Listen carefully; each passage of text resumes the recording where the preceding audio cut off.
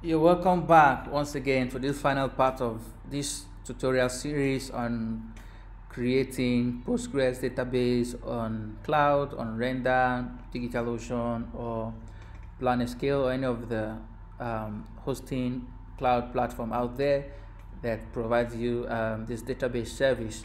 Um, so in the past couple of tutorials, we created the database on Render. We uh, got our connection string and we try to sync that to our Node.js server. So uh, in this last part of the series, I will be creating um, a basic model of post uh, and then um, we'll use the model with Sequelize to make some um, to create some data into our database and read those data also from our database. And that is basically all what we'll be doing. And so let's go into it. Uh, so um, the next the first thing I need to do here from Sequelize I need to import uh, my data type. Um, I when creating my model I need to um, tell the data type of um, all the field variables on the Sequelize uh, model schema. So uh, I want to create uh, um, a post.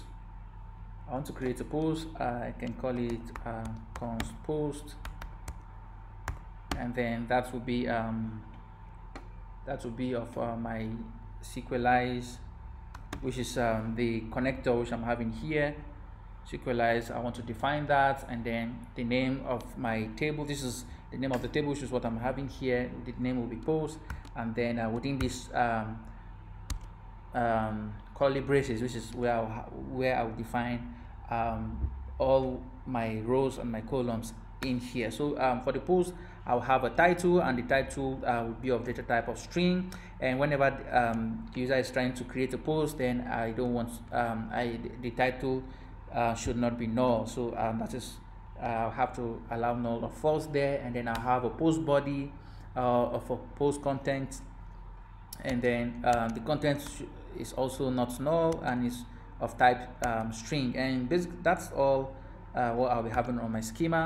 And and and Sequelize will automatically um, generate the ID for me there if um, I don't want to to have that myself and uh, I don't need to I don't need to specify that. Okay now the next thing uh, we need to do is just uh, create uh, uh, express uh, route handler that will fetch that will create that will post this data into um, into the database and I will, um, for that I need to require a middleware here uh, express or json that will enable my express application to read um, request.body from postman. Whenever i try to send a request uh, i'll need um, this middleware to to read that information. So let me uh, require that here um, by bringing in this module here uh, app.use express.json so this will um, provide me the, the, the functionality of reading um, uh, request.body, some body data uh, whenever a user send in a form. Um, the next thing is uh, let me create um, app.post request and I will call this, um, I'll give this route the endpoint of create um, create post and then that will be the route and then I'll have a, an asynchronous express uh, function here. And so within this function that is where uh, I will define every of my operation of um, the create method there and I will have it within a try and catch block. And and I'm getting the the title and the content from the body right? And then the new post I have to await this post which is my uh, my model schema here. Um, let me separate this. This is uh, my model schema so I'm awaiting this my post, which is um, the my model schema here, which is created. Um, we can we can call that entity if you're uh, trying to. You can call it an entity or, or the model. So um, here, what I'm doing is once when a user make a post request to this endpoint, we are getting the title and the content from the request body, and we'll just kind of um, using the dot create method to to send in our data into um, the into the the database. Now this um, post.create, this, this create function is, um, we're getting that from a Sequelize ORM. So this create method uh, helps you do the uh, the if you if you if you're trying to do the raw SQL query that, that will be uh, insert into post and then you put in the value um, title body and then put values and all of that uh, that is what this uh, create uh, Sequelize create method is actually doing now quickly um, uh, let's do that of the get all data um, get all pose rather. I'll have this get all pose and let me close my function. And within here I will do I will run the the code snippets to get um, to get the data. I'll wrap that within my try catch block and we'll just await pose dot find also define all Sequelize method fetch all of the data within our database and and and and you see that uh, being returned here.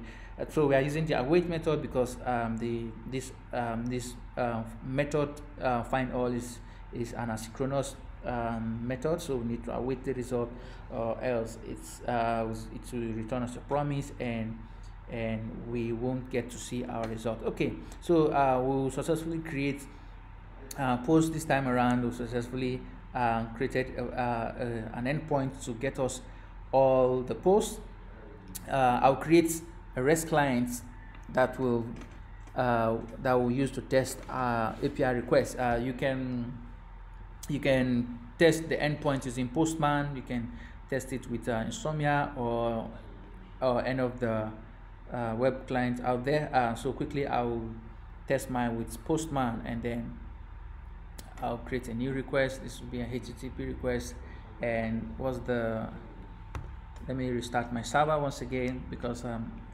I've um, updated and written some Nico snippet and let me copy this route.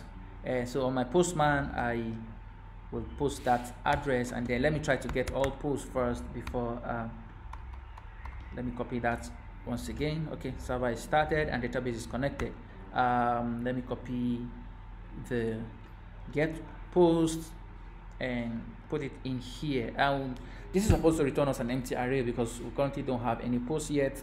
And once I hit on the send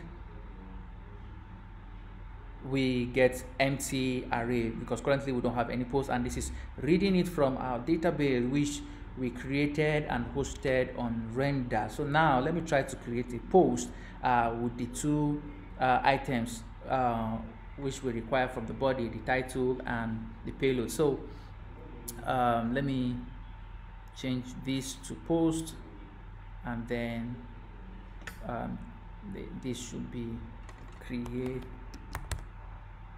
post and then um, within the body we'll pass in those data there I want to go with the raw and we'll select JSON and within the body we'll have a title. Uh, title uh, let me call it post one and then the content. The content is um, uh, let me just say this is for test. Let me put that as my content and let me be sure of my routes it's create post and it's a post request. So uh, now let me hit that and test uh, my endpoint. So uh, this is uh, taking some little time because we're using the free tiers now our post is successfully created. You can see uh, we are having um, the ID of one which is auto generated uh, from a by a Sequelize ORM so this is the title we created post one this is for test and let me create another one and again let me just change the title. Uh, this is dash two.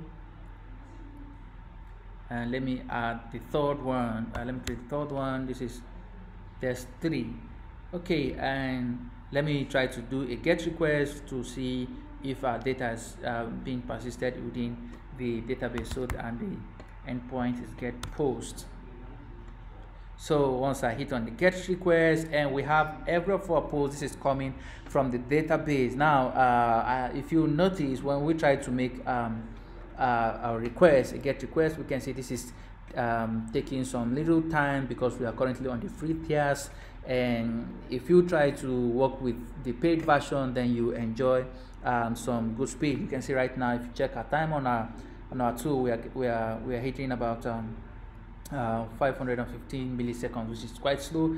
And for this uh, few um, uh, tables we have on our database schema. So if you want to get a very good response, you want something big, or you want your project to be live, and I would advise you go for the paid version. Yeah, but um, this will actually give you everything, though, um, just that you actually have to exercise some patience with it and the post request and the response time from your database. So uh, that is basically how you can um, get a test database that is hosted online, sync it into your project, and make all of your operation with that database. And you can also try to work with this if you're if you're on the development phase of your project and you don't want to um, you don't want to send in data, you don't want to make requests to your uh, production database, but you, you need uh, kind of a hosted database on the cloud where you can and run all your tests during the development phase of your project, then I believe this will be a very good uh, place for you to have that. And once you're done, every of your tests and your development phase is completed, then you can then switch over to your um, production database. So that is basically it for this tutorial series. Thank you very much for sticking around. If you have any question or you have anything to comment, you can put that, you can add that on the comment section below. And I'll be uh, dropping the link and the GitHub uh, repo link for this code snippet should in case you want to make reference to it or uh, you want to copy that and try to replicate the same to your project or uh, improve on it. So thank you very much for uh, sticking around. Thank you for your time and please do feel free to subscribe to this uh, channel. Do feel free to comment, like and share the video. So thank you and see you in the next um, tutorial series.